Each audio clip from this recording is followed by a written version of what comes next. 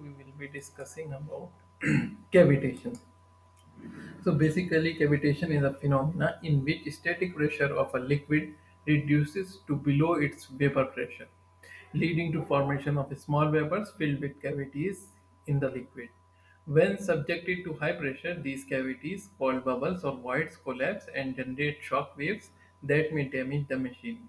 Suppose we have this type of uh, pipe section, then obviously here the velocity will be higher and there will be a pressure drop. And if this pressure drop is of such uh, magnitude that the pressure of the liquid flowing here falls below the vapor pressure of the liquid, then thi- there will be formation of cavitation. The liquid will boil and uh, there will be formation of vapors these vapors, when uh, move toward the higher pressure zone, will again condense and uh, come into the liquid form, and this uh, this action will lead to lead to lead to disbursement of energy. Very high energy will be released. Intense energy will be released here.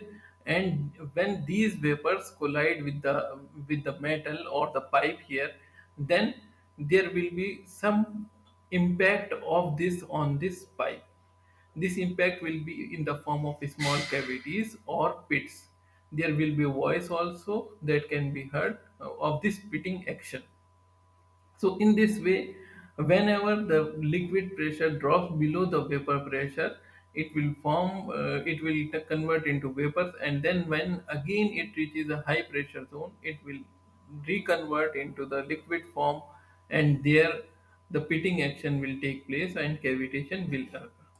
So, with respect to the turbines, uh, with respect to the fluid mechanics, we are concerned with the cavitation for turbines and pumps. Not all turbines and pumps uh, suffer from cavitation. Basically, centrifugal pumps and reaction turbines are subjected to cavitation. This is because both of them have the suction pressure or the pressure here of the liquid falls below the there are chances that it will fall below the vapor pressure of liquid or water if properly if it is not designed properly So, in the pumps, in the starting point at the inlet, we uh, can have suction pressure, or the pressure will fall below the vapor pressure. In the reaction turbines, the pressure will fall below the vapor pressure at the outlets, where the where the water comes with a very high velocity and pressure de- reduced to uh, pressure be- mm, below the vapor pressure of liquid. So in that case, we have to take necessary actions to avoid such things. So you can see that this is the impact of cavitation. There will be some uh, form of cavities formed on the surface of the of the metal or this blade.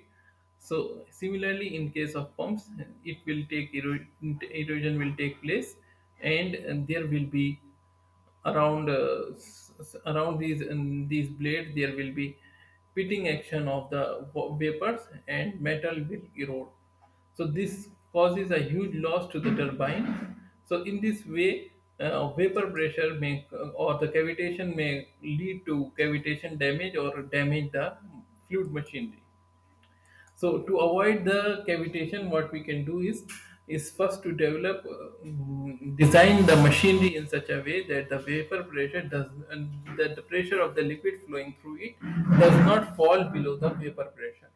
Another way is to identify the early warning signs of cavitation. Some common symptoms are decreased flow of pressure or unexpected vibrations, sealing or bearing failure of the machine, erratic power consumption, and impeller erosion. All these lead to these are the signs for which we have we need to be very careful.